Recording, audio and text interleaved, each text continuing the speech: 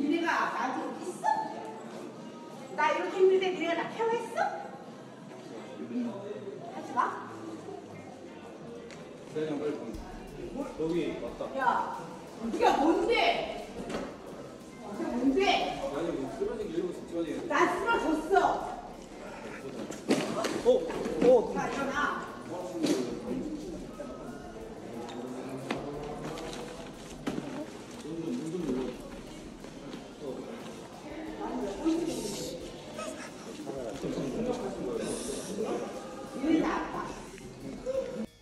Just heard is an audio recording of a confrontation between the CEO of Spire Entertainment and one of the members of Omega X. Hi everyone, and welcome back to Midnight Theories, and if you're new here, welcome to Midnight Theories. Many of you who regularly watch my videos know that I don't usually cover cases that are recent or ongoing. My reason behind this is that I like to wait for all the evidence to be released so I can present the issue to you without missing any vital information. This case is an exception, as I felt a sense of urgency to report the situation as it is currently happening to seek justice for the boys and to help out the fandom. I first covered Omega X over a year ago to celebrate their debut, and it saddens me that this is the follow up video.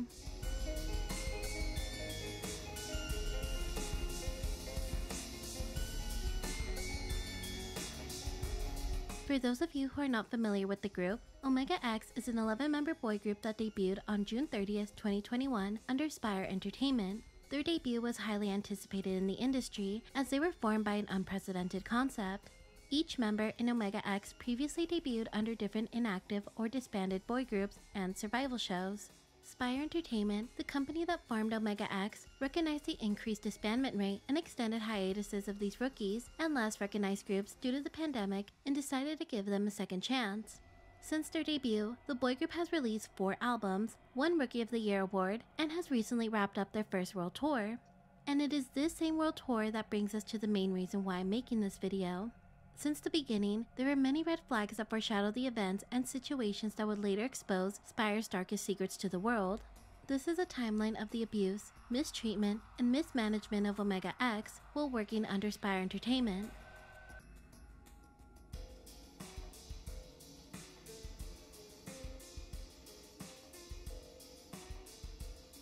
On July 14th, 2022, Omega X announced their first world tour, Connect Don't Give Up, which would take place in America from September through October. For this tour, Spire announced that they would be partnering up with Code One Entertainment for their North American leg. When the information was first released, some fans of the group decided to bring attention to some concerns they had with Code One managing their North American stops. On June 27th, a Twitter user posted a thread about their experience volunteering for the company. This is what they had to say. This will detail my dealings with Code One Entertainment in efforts to convince Omega X to reconsider using them to manage their tour. I want to warn Spire, OX, and 4X about this company. The user also said that they received information from what they believe is a credible source, that the company is run by two employees from two failed companies that previously shut down. The company was only two months old in March and had a history of failure. The user continued to list other issues they had with the company and implored fans of Omega X to bring this information to the attention of Spire. Omega X kicked off their first leg of their tour in Guadalajara, Mexico on September 16. As I mentioned earlier, the first half of the tour was already a disaster. On top of canceled tour dates, multiple members were unable to perform due to health concerns. As for their North American leg, just days before, fans noticed that the Lawrence, Kansas date no longer appeared on the venue's website. According to Code One Entertainment, the company organizing the tour, the group would perform in Lawrence instead of Kansas City. So fans were shocked and confused when the new act was in place of Omega X on the original date on the venue schedule. They then received a notice that the concert was cancelled. Following the cancellation, fans were notified by their respective venues that two other dates were cancelled. This was a result of Spire parting ways with Code One and switching promoters to MC Entertainment. On September 30th, MC Entertainment assured fans that they would continue with the dates that were already established and would maintain the same benefits. In addition, to show fans thanks for their support, they would include tickets with new prices and benefits and sell one selfie per person for $20. This was also a short lived partnership as complications continue to progress. On October 9th, Spire announced that they would no longer be working with MC and released a statement. On October 2, 2022, Omega X members and staff were scheduled to depart Chile for their New York show. However, MC Entertainment, who is responsible for Omega X's US tour, canceled their plane tickets to New York without any notice. With the slightest hope of receiving new tickets, all members and staff waited at the airport for six hours. When they finally got the news about retrieving new tickets for an 11:55 p.m. flight on the same day, it was 9:30 p.m., and therefore all check-in counters for international flights had already been closed. MC Entertainment is avoiding all responsibility regarding upcoming tour schedules and not providing us with any feedback or apologies. This led fans on Twitter to expose both Code One and MC Entertainment's poor management and went as far as to call them scammers. Starting from their Louisville concert, Spire would continue to host the remaining tour dates themselves. In a separate post made on the group's fan cafe, they asked fans not to buy selfie tickets from MC Entertainment as they would no longer accept these tickets and would only accept tickets bought from the venue itself. On Facebook, the CEO of Spire posted her side of the situation. The first company that we contacted for the American tour went bankrupt, and the company that took on the tour afterwards was much worse than scammers than we'd heard. When we were receiving our tickets to fly back to Korea, we had to stay up all night fighting them. The tickets that they gave us were on a Filipino airline. The tickets had us flying to Manila after the last LA concert and stopping there for a day's layover before flying back to Korea the next. We asked for a non-stop ticket. They said they'll change it to a non-stop ticket, but that was just the start of their lies. And then I saw that they canceled the flights to New York and I had to think about a lot. I wondered if we'd be able to trust this promoter and go on a 11 city wide tour. I believe we needed to go back to Korea. But the next day, they changed it to a New York venue and sent us the tickets, and they asked us to send out false statement, saying that it was because the flight was cancelled. Since they sent us the tickets, it was right that the performers continue on with the performance, but there was no reason for us to lie. When we arrived in New York, the promoters were not there to pick us up. We packed our bags into buses that they claimed to have sent us. Even though we were exhausted for the past two days, we were just able to complete the New York concert with tears. After finishing the New York concert, I received news of my dad's passing. I had a hard time because I was in a situation where I had to leave the members in this kind of environment and headed back to Korea. I had to work with my laptop on all through the funeral. It went downhill starting from the Atlanta concert, where I wasn't able to attend with them. Since the promoters canceled the venue, we had to start with product setting instead of the rehearsal. We told the promoter to sincerely apologize to the artists. We said we would no longer continue working with them if they didn't. Unreasonable and unbelievable situations continued to arise, so I had to make a decision. We'd do it without the promoter, so we began preparing. No one would believe the promoter because they had already broken the contract many times. After completing my dad's funeral, I got on the first flight back to America. That's how we restarted our tour. We began to host a tour without a promoter in order to fulfill the promises with the fans. We were able to give all the MD that were promised to fans, and we fulfilled the signed albums and the special promises. Finally, everything returned how it should have been. This statement provoked MC Entertainment to speak up about their experience working with Spire in a now deleted post. Hello, this letter is directly to all Omega X fans. We would like to let you know what a horrible week we had as a company. In the 13 years we have been working with artists, this has been the worst experience working with the company. After weeks ago, after one of the people in charge of Spire Entertainment contacted us why the US promoter at the time, Code One, was not doing their job right, we as a company agreed to invest in the US tour for the fans at this time, we had nothing clear. The day they had to leave Chile, they did not want to leave on different flights to New York and did not enter. At the time, we bought other flights so they could give the concert in New York on the original date. They also missed it. They threatened to leave to South Korea again. The problem is, we had already bought more than 45,000 in merchandise to be able to fulfill the fans. So we bought other flights and in the end, we bought three times the flights. We have spent a lot of money on your logistics, on Spire's whims. We would like to extend our sincere apologies to Omega X fans. We have had days of uncertainty, but Spire Entertainment has a contract with us for the US tour and rights to the merchandise, etc. We have clear conversations and contracts as many companies, and we will see this through to the end as a registered company in the United States of America. In Atlanta, Spire Entertainment did not want members to take selfies. Thanks to all the people who attended the first three concerts, but the outrage and uncertainty is over. And if you thought the rest of the concert would play over smoothly, then you would be greatly mistaken. On October 10th, Spire announced that Taedong would not be participating in their Chicago concert due to mild health concerns. This would make him the sixth member to sit out of one of their concerts during this tour. The tour finally came to an end at their LA stop on October 22nd.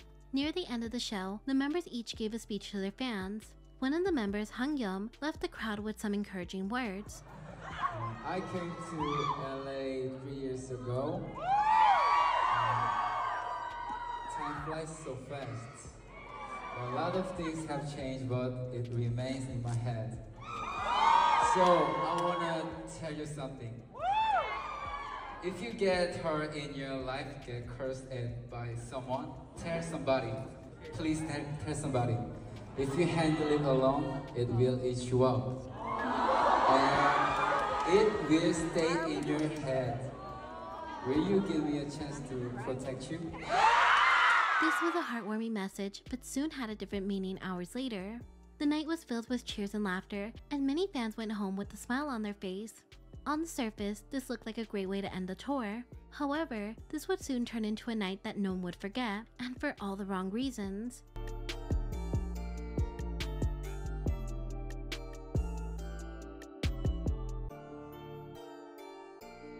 Before we begin this next segment, I must introduce you to Spire's higher ups. The original CEO of Spire Entertainment was believed to be Hwang Sung-woo. Somewhere between the conception of Omega X till now, the CEO position has been switched off to Kang Sung-hee. This was also backed up by a few netizens as they read the notes in Omega X's Swim album. In the past few days, internet sleuths obtained pictures of Hwang Sung-woo and Kang Sung-hee in pictures together in unprofessional settings, such as on vacation. It is believed that these two are married. Now that you know who they are, let's move on.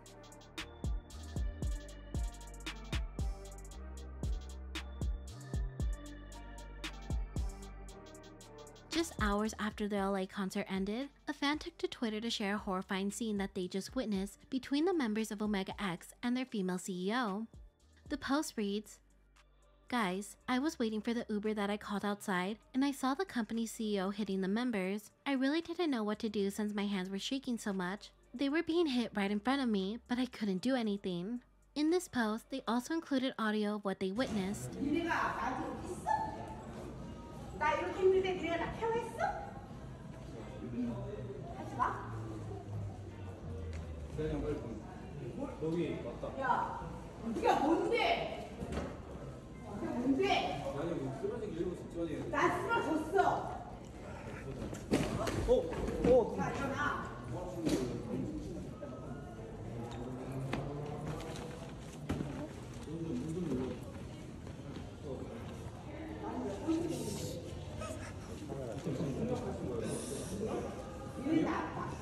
Immediately, the video began to spread in the K-pop community and to the rest of the world. The hashtag ProtectOmegaX began to trend as fans and netizens voiced their concern for the members. As more fans heard the horrific abuse, other fans who attended the other tour dates began to speak out about what they witnessed, and this goes all the way back to their South American leg of the tour. On October 4th, another Twitter user posted a thread reporting that her mother witnessed members of Omega X being yelled at by a woman more than once at the airport. They said, My mom was in Chile for holidays and she was coming back on Monday. But the flight got cancelled, so she had to stay in the hotel, where Omega X were staying as well. When she was having breakfast, she saw two boys, members of Omega X, that were being yelled at by a woman who she believed is a manager or something like that. She thought that maybe they were celebrities because they had their faces all covered up with caps and masks. So then she found out that they were from a K-pop group called Omega X. After that, she saw them again at the airport while waiting for the flight.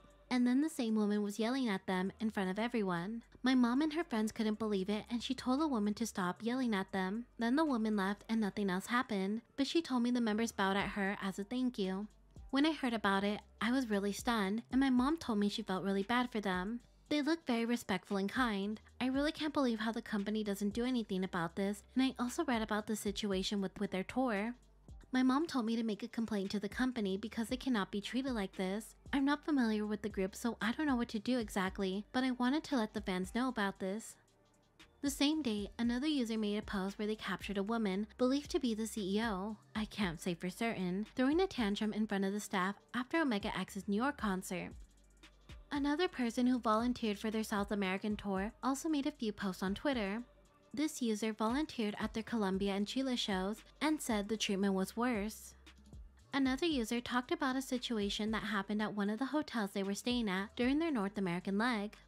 Recently, a K-pop boy group stayed at one of my family's hotels for one of the shows earlier in the US leg of the tour. For many reasons surrounding privacy and policy, I cannot give out much information or specific details, but I'm sure you can pick up on who I'm talking about with the details I do share. This situation started because there were multiple hotel guests and other hotel staff that were concerned about the well being and safety of the group of guys that were described to be Korean.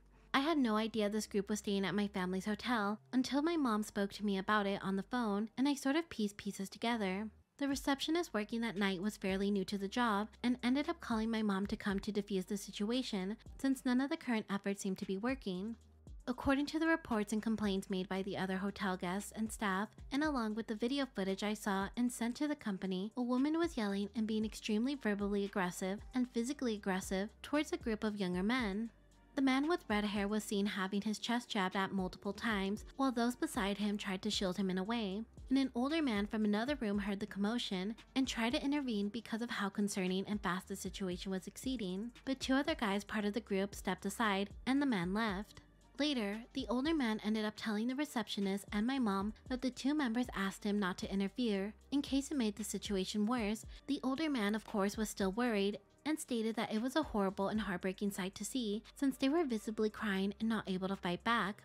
Because the situation got physical and multiple complaints and reports were made, my mom had threatened to have the police called on her and had to step in. The only reason I saw the video footage because I was the one who had to contact the company this party was booked under and even then the communication was frustrating. Who in their right mind says, "We will discuss this issue further at our convenience." After some short time there was a statement made about an entertainment company no longer being associated with them, so I genuinely thought things would get better for them. And on my family's end, after the case was disputed, there was nothing we could do, and my family has always prioritized the safety and well being of all guests, so please know that efforts were made to put in place to try and keep this group separated from her during their short stay in our city. However, those efforts were deemed useless because she still went and banged loudly on the relocated rooms. And I'm unclear on this part, but according to what a staff member said, it looked like the same woman from the night before was trying to take away the food a member was eating. Now that the situation caught more attention, Spire Entertainment were forced to respond. Hello, this is Omega X's management, Spire Entertainment. First, we would like to sincerely apologize for causing you concern with the recent news. As of October 22nd, Omega X completed their first world tour, Connect Don't Give Up, in Los Angeles. Following the month long tour, which began in Guadalajara, Mexico on September 16 and ended in LA, US on October 22nd, we had a celebratory team wide dinner. The conversation, which had circulated online via social media, was recorded at the dinner. At the time, having completed all legs of the tour, the Omega X members and Spire Entertainment team were discussing the hard work that went into the concerts, as well as the future that is to come. During this discussion, we also talked about certain moments that caused disappointment in one another, and in doing so, the conversation got heated and voices were raised. Please note that we kept communicating after dinner, and Spire Entertainment and the members have since resolved all hard feelings. We have concluded to continue moving forward together, all while being more considerate towards one another.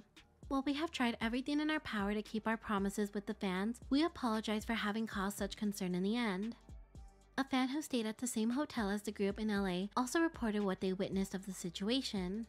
No, because was it really resolved? Because when we came down from our room last night to get water, Hangyeom was sitting in the lobby with the manager like he was in timeout. Mind you, 2.30ish in the morning. So was it resolved? We did not see what happened, just saw him, and it was very tense and awkward atmosphere. All of these situations have happened in very public places and makes fans worried what else may be going on behind the scenes.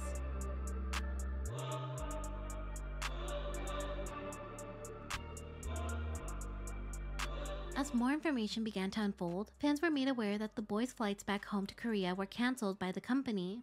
On October 23rd, one of South Korea's biggest broadcasting stations, SBS, covered the Omega X situation and were able to get in contact with the CEO over a phone call. Reportedly, Omega X were originally booked to fly back to Korea on October 23rd. However, following the online circulation of multiple allegations against the company CEO, SBS News confirmed that the tickets were cancelled early that morning. In addition, SBS News confirmed that the production staff boarded the flights back to Korea while the members remained in Los Angeles. Due to the sudden change in schedule, Omega X fans expressed concern about the members' safety. Kang So Hee, CEO of Spire Entertainment, told SBS News that the flight schedule had been subject to change for the past three days. The management claims that the tickets were cancelled in order to prevent fans from sitting with the members. When asked about the initial audio that went viral, Spire claimed the situation all started because of an anti-fan. It's a one-sided allegation started by an anti-fan who is hostile towards the management. I was exhausted because I've been up for several nights in a row. I even had a bloody nose because I was so tired, but the members didn't think to make me feel better. They didn't care about me, so I felt upset and acted out of disappointment. Usually, I'm extremely polite towards the members. I even use honorifics when I talk to them. On the afternoon of October 24th, SBS Entertainment News released a video containing a situation at the time. The violence and assault that started on the street continued in front of the hotel elevators.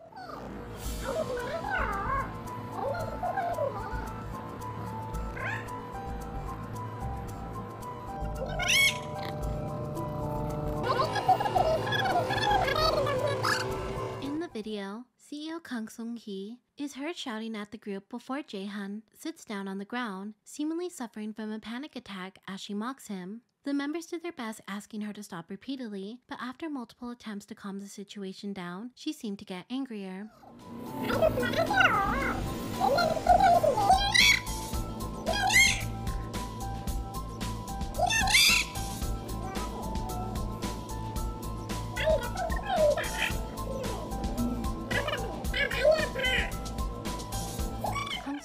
Was nowhere near finished when they returned to their hotel. Still furious about how the members never took care of her the way they did for Jaehan, she seemingly grabbed him as he entered the elevator, causing him to stumble. Fortunately, he was caught by his members. Jaehan seemed not to be able to stand up on his own after that and was held by his members.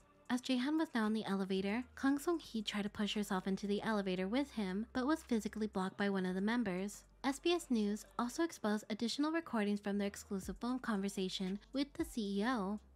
Fans were devastated to see the abuse the group suffered at the hands of the company and how they continue to downplay and deny the situation. In spite of what had been captured on video, Kang Sung Hee insists that she has never abused the members. I was only asking them if they ever thought to care of me when I was feeling down or when I was passed out. I was struggling too. Me abusing the members? No way.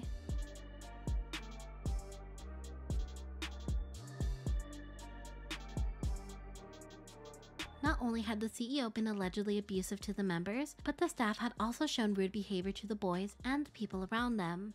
On October 26, Chilean K-pop journalist Rebecca Medina took to Twitter to expose how the management allegedly treated the translator hired for the group's September concert in Chile. According to the reporter, the translator was only paid 3 out of the 10 hours she worked. She also added that the Korean staff was xenophobic towards the translator and allegedly repeatedly told not to interact with the boy group despite it being her job to translate for them. The situation continued to escalate when a female manager grabbed the translator roughly by the arm and saying, We need to talk. Through the exchange, the members were condescending and talked down to the translator. The alleged verbal abuse was so bad that it brought the translator to tears. In addition to the translator's horrible experience, the reporter also mentioned that the K-pop Chilean official team, a Chilean K-pop news source, were also heavily mistreated by the Korean staff. This further proves to netizens that the entire company needs to be under investigation.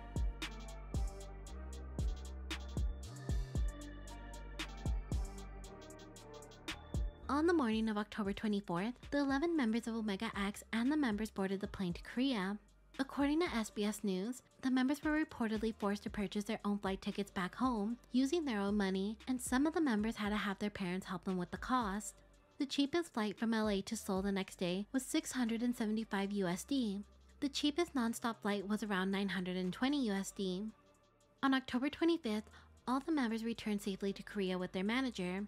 About 100 fans waited for the members at the arrival hall and burst into tears sobbing outside the airport. Jaehan, one of the members known to be allegedly assaulted by the CEO, only nodded at the support of his fans with his head down. At the airport, the boys were met by an older man and an older woman. There has been many questions as to who they are. Some believe they are family members. The man has also been speculated to be Chairman Hwang Sung-woo. No one is certain as to who they are.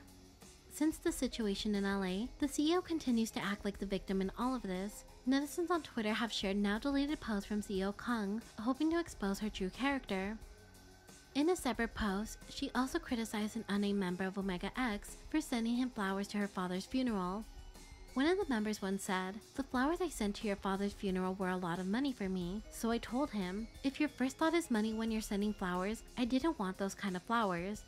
Everyone who came to my father's funeral would have seen me working on my laptop, even if I was preparing for my dad's funeral, because I wanted to take responsibility for the American tour. If I hadn't finished it then, this tour probably wouldn't have happened. SBS also reported that netizens have also accused the CEO of allegedly making rude comments to Jaehan and Yechan's female co-stars. In May, Spire announced that two Omega X members were cast in a new BL web drama titled A Shoulder to Cry On. According to a fan, the CEO allegedly had rudely warned the actresses not to flirt with the boys. Now that the members are back in Korea, fans were worried that the company would not cancel their work schedules. Currently, Omega X have a weekly scheduled Naver Vibe party room every Thursday. Every week, members of the group talk about different topics. They also use this time to interact with fans live. On October 26, Naver Vibe informed fans that their weekly shows would not be held but would return the week after on November 3rd. Fans are rightfully upset that they are not given more time to heal and actually deal with the situation. Many fans feel like this is just another way Aspire trying to sweep this issue under the rug.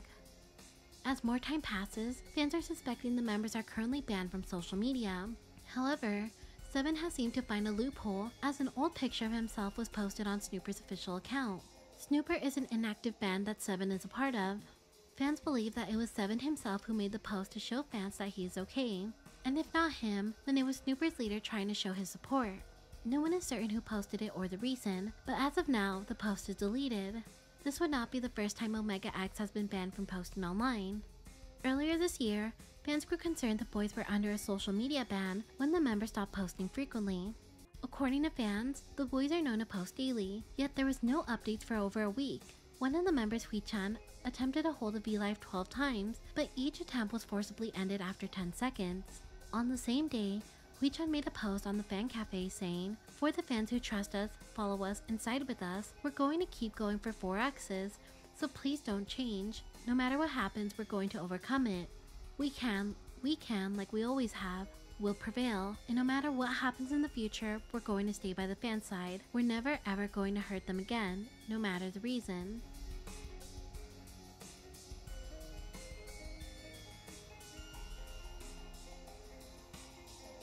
Since the deplorable actions of Spire have been exposed to the world, many fans and people who have worked with Omega X are calling out the company and standing with the group. Dong Dongkyu, who is Jaehyun's former Spectrum member, made a post aimed at Spire CEO. You're probably the anti. I won't curse you out here since I've already done it a lot vocally. How dare you to my dongsaeng? How dare someone like you? Tone, Sebin's leader in an inactive group SNUPER, also came to his fellow members' defense, posting the hashtag ProtectOmegaX on his Instagram story. Solo artist Laudi, a former 14U member, also showed his support on Instagram.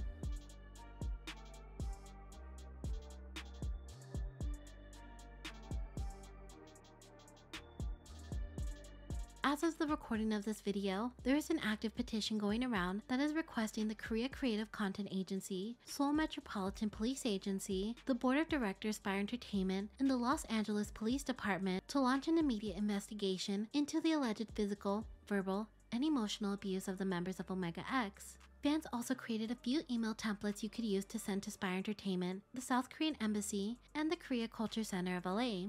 Omega X's fandom also created several fan projects and hashtags to show their support and spread awareness. Here is a list on screen. Also, don't forget to let the members know you care and support them by leaving messages on their fan cafe. The links to all these resources will be pinned in the comment section and at the top of my description.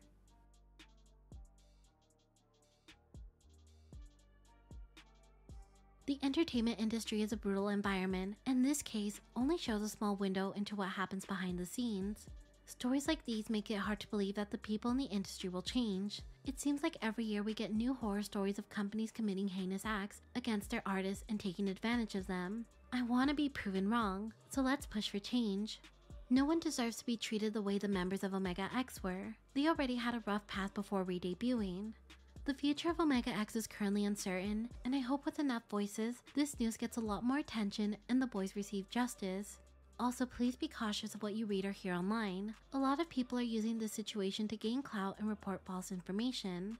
Also, if I reported anything incorrectly, please politely correct me in the comments. Also, before I end this video, I'd like to thank Omega X Worldwide on Twitter for also helping me with resources on how we can help the group.